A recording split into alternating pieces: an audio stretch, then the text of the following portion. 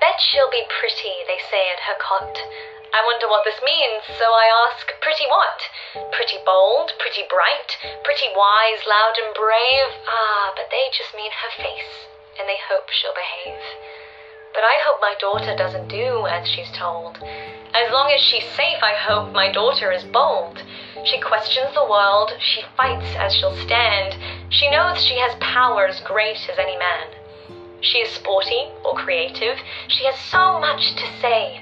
She is kind and inquisitive and changes the world each day. When she becomes a teen, I know the world will seem tight, with a small box to fill, and then she'll be right. I hope she knows her beauty doesn't come from her face, that being a woman doesn't mean knowing your place. And I hope she is happy and fights for her choice. Yes, I hope my future daughter always uses her voice.